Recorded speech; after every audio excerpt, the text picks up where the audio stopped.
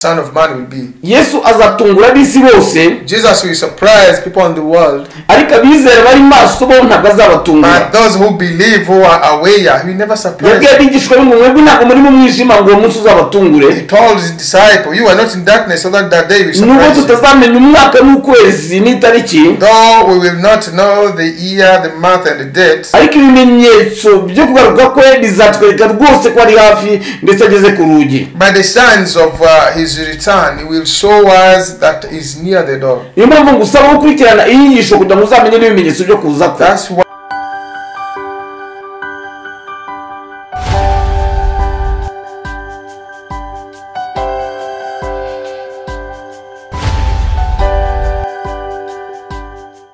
nongeye kubasuhuza inshuti mukurikiye sheni ihumuriza ibihumbi Greetings to you who are following A Thousand Comforts. Mbahaye ikaze ku gice cya mbere cy'inyigisho yacu ivuga ku kugaruka kwa yesu Welcome to the first part of uh, our teaching talking about the Son of Jesus. abakurikiye ijambo ry'ibanze Those who followed the introduction, ah, ndabasaba no gukurikira igice cya mbere please follow the first part.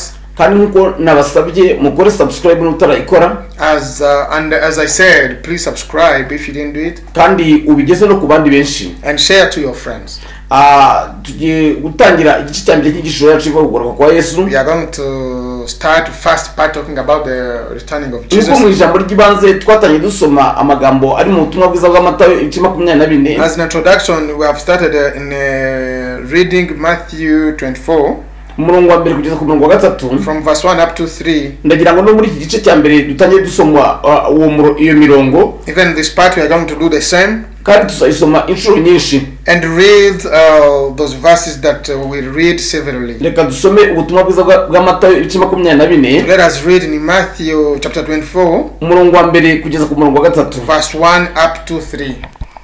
adusome matayo ibice makumyabiri na bine umurongo wa mbere kugeza ku wa gatatu yesu asohoka mu rusengero akigenda abigishwa be baramusanga bashaka kumwe- kumwereka inyubako y'urusengero.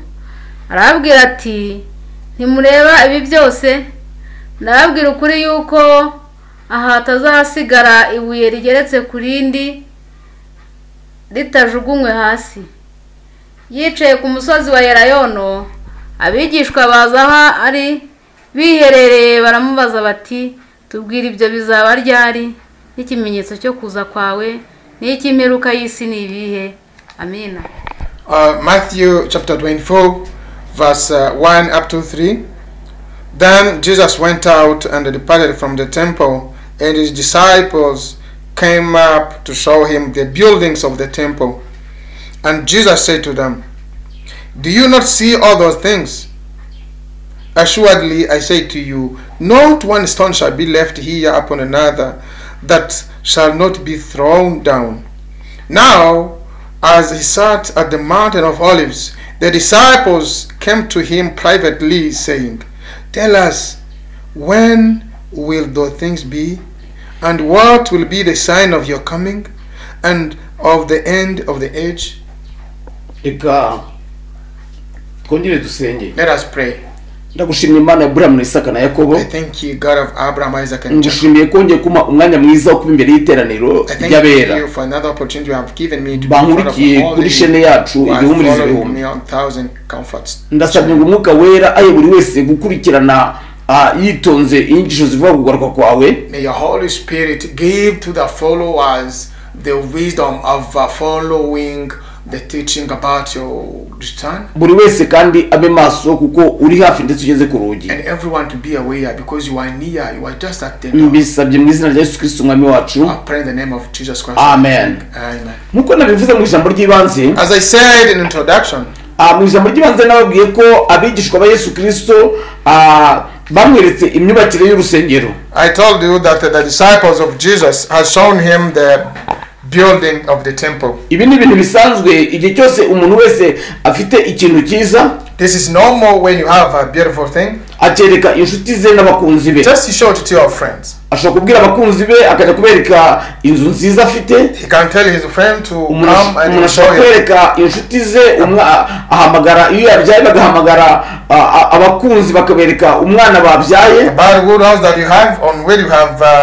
uh, abasore barambagiza bajya kwereka ababyeyi ndetse n'inshuti abafiyanse babo. For the baby, you call people, or if you are young, you can uh, call your friends to show them your girlfriend. ndetse n'abakobwa ba- bamaze kubona abafiyanse nabo bajya kwereka ababyeyi babo n'inshuti zabo abafiyanse babo Or for girls, they come and show up their boyfriends to the parents and friends. ibi bibaho ni umuco w'abantu This happens just the abigishwa ba yesu kirisito rero nabo bamweretse ubwiza bw'urusengero rwabo So the disciple of Jesus Christ has shown him the beauty of their temple. nk'uko nababwiye mu ijambo ry'ibanze batungurwa n'uko yesu yababwiye ko urwo rusengero ruzasenyuka As uh, I told you in introduction, uh, uh, Jesus was so uh, the disciples were so surprised to see when Jesus was telling them about this. rugasenyuka rwose ku buryo ntawe ryasigaye rigeretse ku rindi And the whole of it will be distracted so that there is no single stone or upon another. nzababwira uburyo abaroma barushenye mu mwaka wa mirongo irindwi nyuma ya yesu kirisito I will tell you how the Roman destroyed it uh, in uh,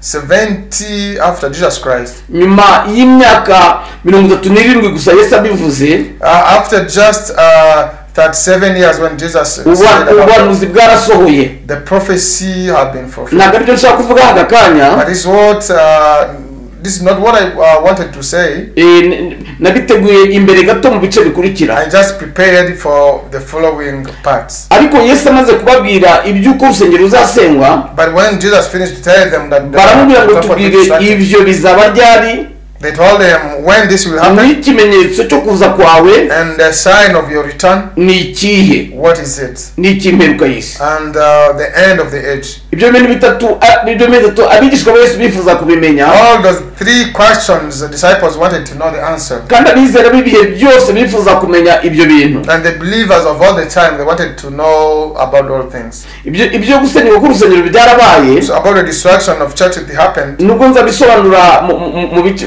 mu bice bikurikira Though I will explain in uh, uh, other parts. ariko uyu munsi nabwo ndashaka kuvuga ku kibazo cya kabiri bamubajije But today I want to talk about the second question they asked him. baramubajije ngo n'ikimenyetso cyo kuza kwawe ni ikihe What is the sign of your coming?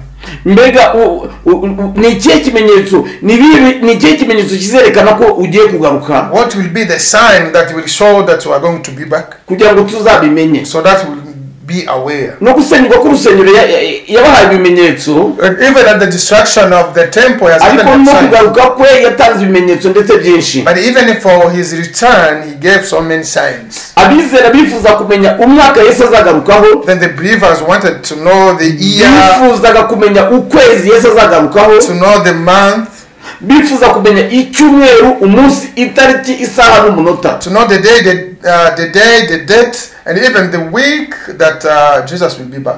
niyo mpamvu bamusangaga bihereye bari kumwe nawe wenyine bonyine That's why they asked him privately. kuko bari bazi ko ari inshuti yabo ikomeye cyane Because they knew that is his best friend. baravuga bati buriya twebwe aratubwira umwaka n'ukwezi n'umunsi azazira And they were thinking that for us, he will tell us the year, the month, and the week that will come.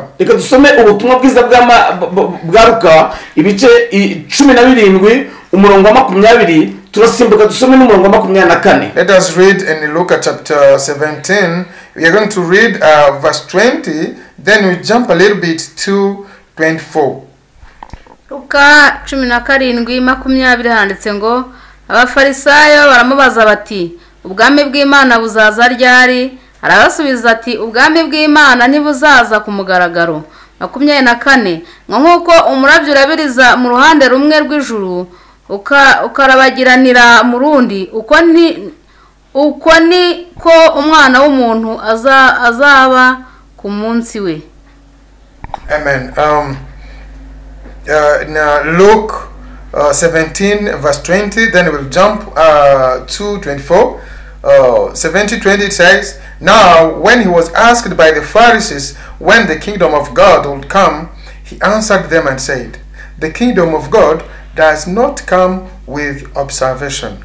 Then 24, For as the lightning that flashes out one part under heavens shine to the other part under heaven, so also the Son of Man will uh, in his day. Amen. imana idufashe cyane Father be glorified. aha abafarisayo nabo bamubajije igihe azazira Here, even the Pharisees asked about the time he will be back. Nabo bara- ba- ba- ba- baravuze bati tubwire igihe uzagarukira Then they asked, Tell us the time that we'll be back. yesu arababwira ngo ubwami bw'imana ntabwo buzaza ku mugaragaro Jesus said, The kingdom of God will not uh, be uh, by observation. umurongo wa makumyabiri na kane arababwira ngo nk'uko umurabyo urabagiriza mu- gihande kimwe cy'ijuru Then, verse 24, he said, For as the lightning that flashes out one part under heaven ukongera ukabonekera no mu kindi gihande and shines two other part under heaven. ahandi yarababwira nk'uko umurabyo urabiriza iburasirazuba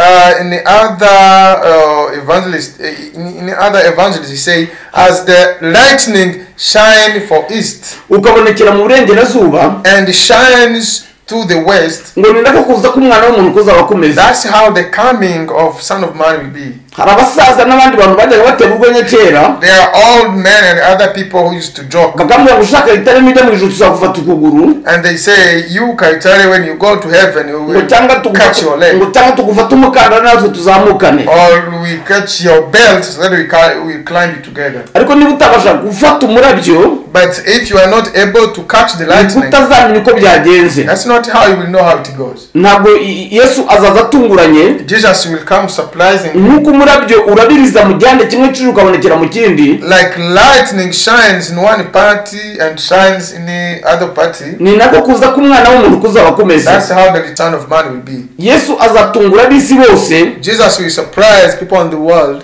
ariko abizera bari maso bo ntabwo azabatungura but those who believe, who are aware, he never surprise. yabwiye abigishwa be ngo mwebwe ntabwo muri mu mwijima ngo uwo munsi uzabatungure He told his disciple, "You are not in darkness, so that that day will nubwo surprise you." tutazamenya umwaka n'ukwezi n'itariki Though we will not know the year, the month, and the date, ariko ibimenyetso byo kugaruka kwe bizatwereka rwose ko ari hafi ndetse ageze ku rugi by the signs of uh, his return, he will show us that he's near the door. niyo mpamvu ngusaba gukurikirana iyi nyigisho kugira ngo uzamenye n'ibimenyetso byo kuza kwe That's why I request you to keep on following so that we know the sign of his coming back. dusome n'ubutumwa bwiza bw'amata ibice makumyabiri na bine umurongo wa makumyabiri na karindwi Let us read in Matthew chapter 24, verse 27. aha yesu yasubizaga abigishwa be Here, Jesus was just answering his disciples. yabashubije ijambo nk'iryo yashubije abafarisayo He answered them like uh, uh, the answer he gave to the Pharisees. matayo ibice makumyabiri na bine umurongo makumyabiri na karindwi handitse ngo "Nku- kuko nk'uko umurabyo urabiriza iburasirazuba ukabonekera aho rirenga niko no kuza k'umwana w'umuntu kuzaba amina Matthew uh, 24 27 it says, For as the lightning comes from the east and flashes to the west, so also will the coming of the Son of Man be. imana idufashe cyane The Heavenly Father help us. Abigishwa be nabo yesu abasubiza nk'uko yashubije abafarisayo Then Jesus answered to the disciples, aravuga ngo nk'uko umurabyo urabiriza iburasirazuba. Same answers for Pharisees as and ukabonekera iburengerazuba For as the lightning comes ni nako kuza k'umwana w'umuntu kuzaba and kumeze be shown to the west, that's how the return of Son of Man. mu kanya kameze gutyo ntiwakwitendeka ku muntu. I want to tell you that uh, in uh, such moment like a flashlight, you cannot uh, come and take the of isi izamenya ibibaye And even the world will never discover what is happening. ntabwo abantu bazamenya uko bigenze No one will know how it comes. abandi bibiri ivuga ko ari mu kanya nk'ako guhumbya Others, uh, the Bible says that is uh, by the time of closing eyes and open. Mu- mu kanya ko guhumbya no no guhumura Just uh, close and open eyes, abizera bazaba bagiye. The believers will be gone. umugabo wawe azaba yagiye. Your husband might go, umugore wawe azaba your wife might go, umwana wawe azaba your yagiye. kid might go, umuririmbyi mwaririmbanaga azaba yagiye. The singmate might go, kandi nawe uzaba wagiye. And even you, you might go. nuba uri maso witeguye. If you are aware and alert. haleluya Hallelujah. imana y'umugisha May w'icyubahiro Heavenly Father be glorified. ahandi yesu yaravuze mu- bice uh, mu- mu mirongo ikurikira y'ubutumwa bwiza bw'amata makumyabiri na kane In uh, other verses of Matthew 24, reka dusome nyine aho mu butumwa bwiza bw'amatayo ibice makumyabiri na bine umurongo wa mirongo ine na kabiri kugeza ku murongo wa mirongo ine na kane. So let us read in uh, Matthew chapter 24 uh, from verse uh, 42 up to 44. matayo ibice makumyabiri na bine umurongo wa mirongo ine na kabiri kugeza ku mirongo ine na kane.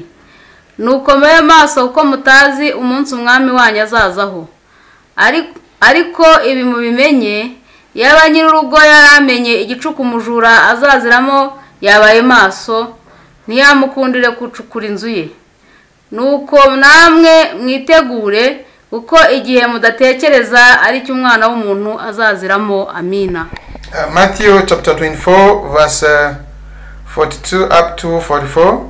Watch therefore, for you do not know what the hour your Lord will coming. But now, but this, that uh, if the master of the house had known what hour the thief would come, he would have watched and not allowed his house to be broken into. Therefore, you also be ready, for the Son of Man is coming at an hour you do not accept. Amen. imana yo mu ijuru ihabwa icyubahiro May cyane Heavenly Father be glorified. umwami yesu arongera abwira abigishwa be Lord Jesus told his disciple, abaha urugero rw'umujura he has given him an, an example of a thief.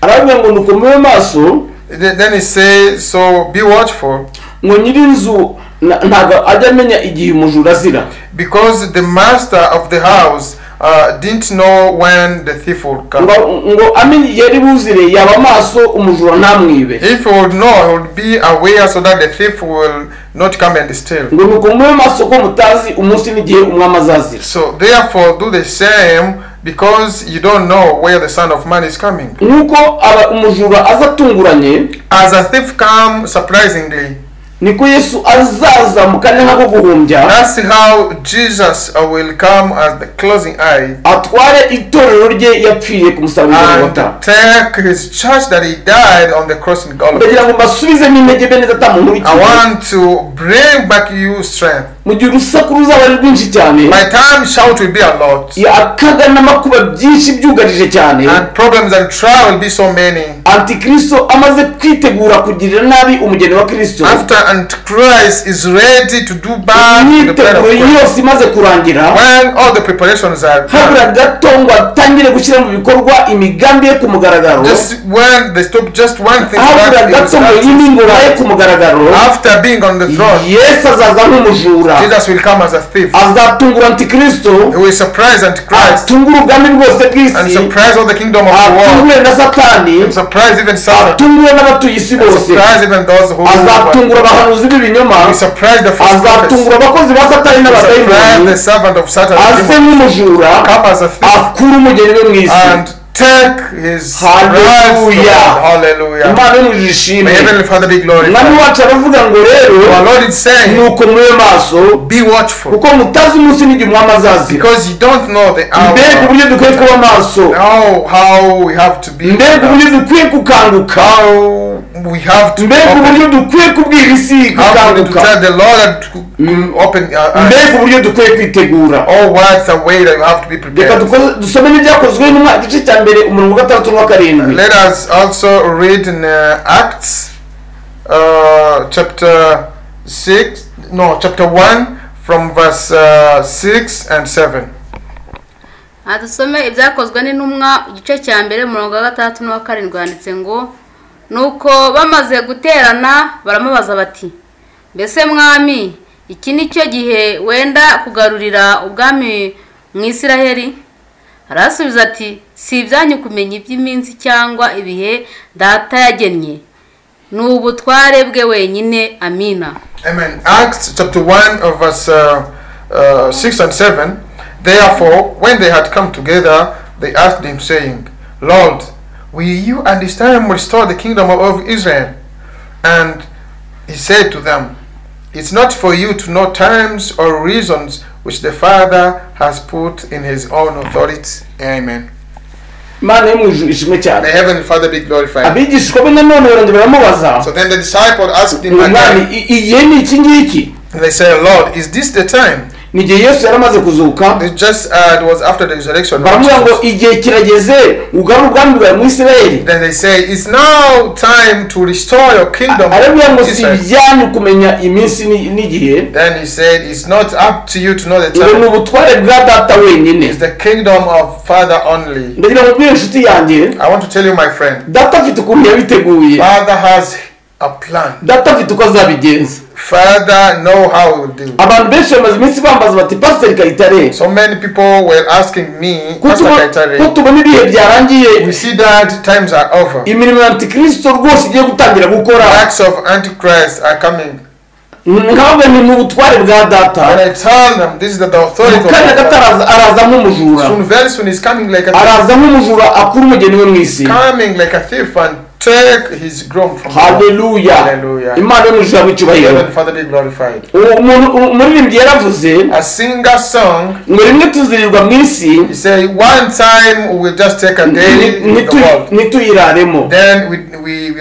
there. hari igihe tuzarara mu isi ariko ntituyirirwemo oh haleluya Hallelujah. imana yo mu ijuru yaba icyubahiro Heavenly Father be glorified. imana yo mu ijuru ishimwe cyane reka dusoreze mu butumwa bwiza bw'amatayo igice makumyabiri na bine Let us end up in uh, Matthew chapter 24, umurongo wa mirongo ine na gatanu kugeza ku murongo wa mirongo itanu na rimwe. verse uh, 25 up to 51, naho hari amagambo akomeye cyane. And uh, they have also good words. adusome matayo ibice makumyabiri na bine umurongo wa mirongo ine na gatanu kugeza kuri mirongo itanu na rimwe. Adusome. Mbese ninde mugaragu ukiranuka w'ubwenge? Shebuja yasigiye abo mu rugo rwe kubagerera igihe cyaryo uwo mugaragu arahirwa shebuja naza agasanga abikora. Ndababwira ukuri yuko azamwegurira ibintu bye byose. Ariko umugaragu mubi niyibwira mu mutima we ati databuja aratinze maze agatangira gukubita abagaragu bagenzi be no gusangira n'abasinzi. Shebuja w'uwo mugaragu azaza umunsi atamumenyesheje n'igihe atazi amucemo kabiri amuhanane n'indyarya ni ho bazaririra bagahekenyera amenyo amina Amen. I read in uh, Matthew 24 from verse uh, uh, 45 up to 51. Who then is a faithful and wise servant, whom his master made ruler over his household to give them food in due season? Blessed is that servant whom his master, when he comes, will find so doing. Assuredly, I say to you that uh, he will make him ruler over all his goods. But if that evil servant say in his heart, My master is delaying his coming, and uh, begins to beat his fellow servants and eat and drink with the drunkards, the master of that servant will come on a day when he is not looking for him, and at an hour that he is not aware of, and will cut him in two parts, and appoint him his portion with the hypocrites. There shall be weeping and gnashing of teeth.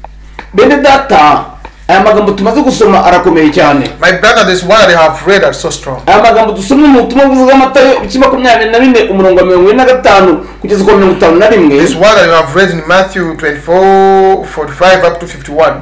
Aratwereka abagaragu ba kirisito mu buryo bubiri They are showing us the servants of God of Christ in two parts. ni ukuvuga ngo ni abakirisito b'ibice bibiri What means they are Christians in two parts. uwa mbere yiswe umugaragu ukiranuka w'ubwenge The first one is called wiser and righteous uh, servant. n'undi mugaragu wataye inshingano Another servant who is not good one.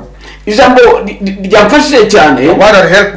Yesu aravuga ngo hahirwa umugaragu ukiranuka w'ubwenge. Jesus said that uh, blessed is the is that servant whom his master when he comes he will find doing. shebuja yasigiye abandi bagaragu ngo bagenere igaburo When his master just gave that servant of the food to give to other servants. uwo mugaragu arahirwa Then he said that servant is blessed ngo shebuja naze agasanga akibikora if his master will find him. haleluya Hallelujah. imana imuje ishimwe cyane Heavenly Father be ndashaka glorified. gutinda kuri iri jambo gato I want to take time about mugaragu arahirwa data- databuja naze agasanga akibikora that servant master will find him doing it. muri iyi minsi y'imperuka In this uh, end of age, usanga abantu bavuga ngo agakiza ka mbere ntawagashobora you find people are saying that first salvation no one can usanga abantu barimo baganira abantu ngo ibyo ni ibya kera ngo ako ni agakiza ka kera People are saying this is the oldest.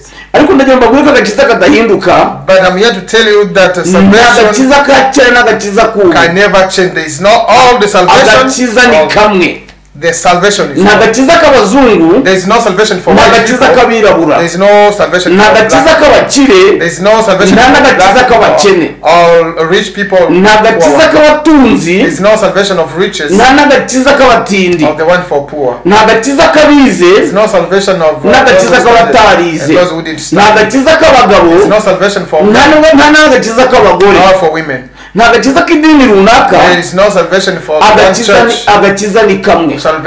Imana one. imujije icyubahiro Heaven Father be glorified. yesu aravuze ngo ahirwa umugaragu ukiranuka w'ubwenge shebuja azaza agasanga akibikora. Oh Oh, haleluya hallelujah. imana imujije icyubahiro Heaven Father be glorified. nari mfite umuntu w'inshuti yanjye. I had a friend of mine. twajyaga dusengana tukiri abasore We used to pray together when we were young. hanyuma aza kugwa abivamo Then he fall down and get out of ariko ndakomeza ndamukunda sinamwanga But I continue just to like him. hashize imyaka myinshi tuza guhura After several years we met. Ngiye mu masengesho ahantu kwiherera n'imana kandi igihe kinini When I was going to the prayer to prayer to pray God in a certain place. yifata yifata mu mayunguyungu arandeba Then he started just looking at me arrogantly. yongera yifata no ku munwa Then he just uh, put his hand over his mouth arambwira ukahita and say, Oh, Kaita, ngo ibyo bintu uracyabikora you are still there. Yo imana idufashe cyane Oh, uko umwami yesu avuze Uh, hahirwa abagaragu databuja azaza agasanga bakibikora uh, abantu biyirizaga ubusa bagasenga imana bakagirana ubumwe na yo barahirwa data naza agasanga bakibikora hahirwa abagaragu data azaza agasanga ba- ba- bagifite urukundo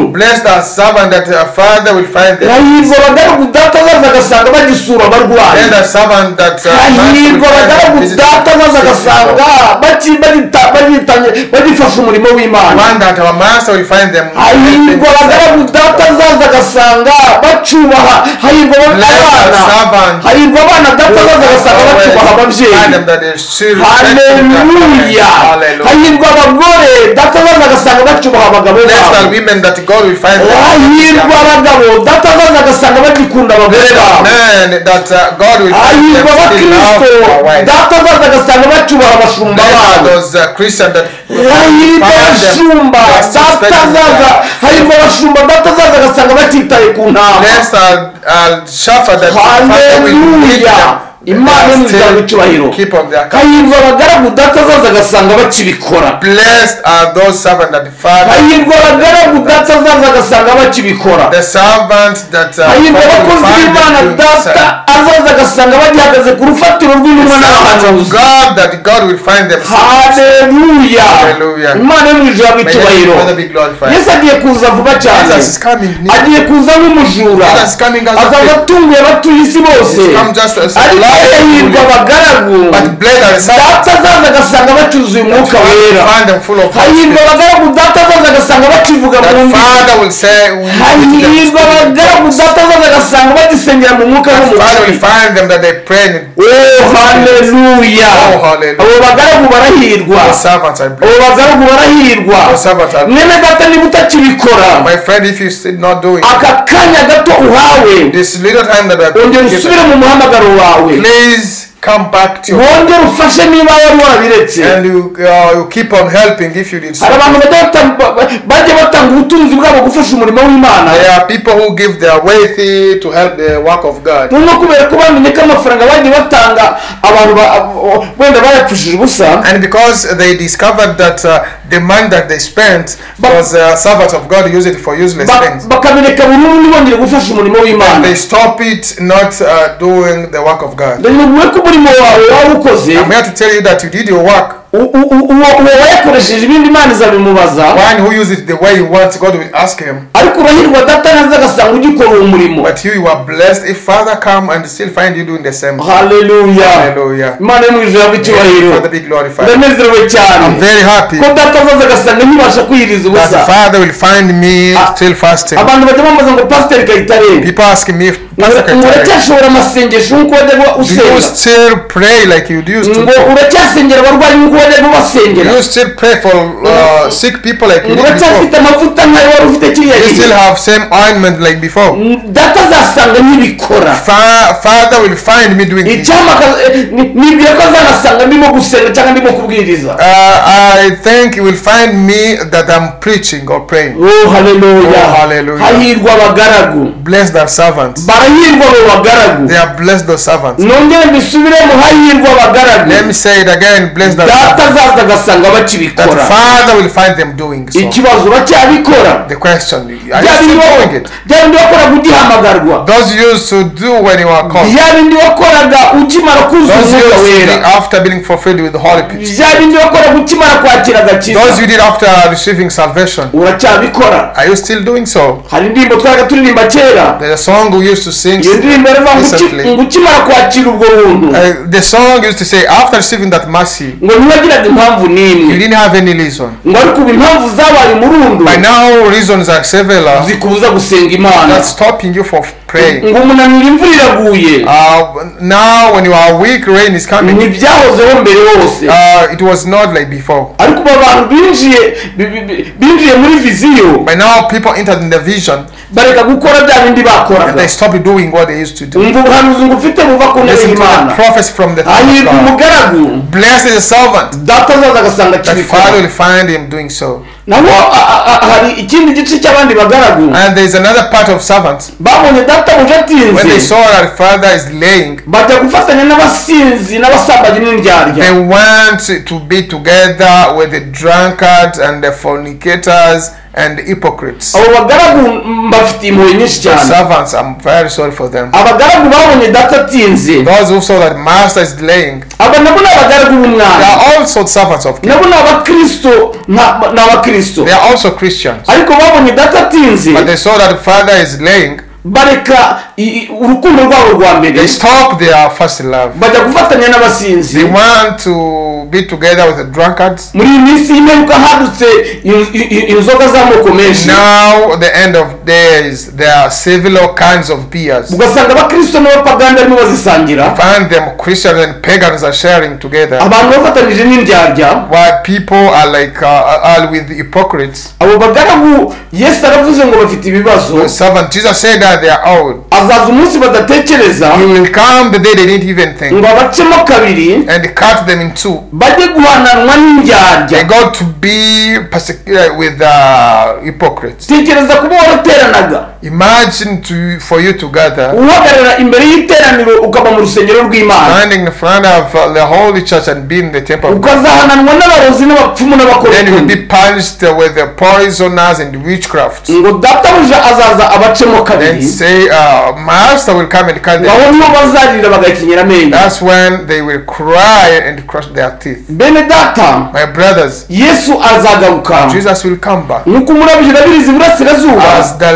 lightning uh, kabonekera iburengerazuba flash in east and be shown in west, niko n'umwana w'umuntu azaza that's how the Son of Man will nuko come. mube maso So be watchful. muhore mwiteguye Be ready already. kuko mutazi umunsi n'igihe Because you don't know the day and time our Lord will come. haleluya Hallelujah. imana ibaho umugisha inshuti May God bless you, my friends. ndabararikira gukurikira ibice bikurikira Please follow the next uh, uh, parts. tuziga ibintu bikomeye cyane mu We'll kwa start yesu great and good things in the return of ariko Jesus. dusubiremo iri jambo But let me repeat this word. hahirwa umugaragu Bless the servant databuja azaza agasanga akibikora that his master will find him doing so. haleluya Hallelujah. haleluya Hallelujah. oh Oh, haleluya hallelujah. imana May Heavenly Father be glorified. imana May Heavenly Father be glorified. imana ishimwe May God be tugiye glorified. gusenga imana We are going to pray now. mana data twese wo mu ijuru Heavenly Father, ndakwinginze muremye ijuru n'isi oh ngo uduhe imbaraga.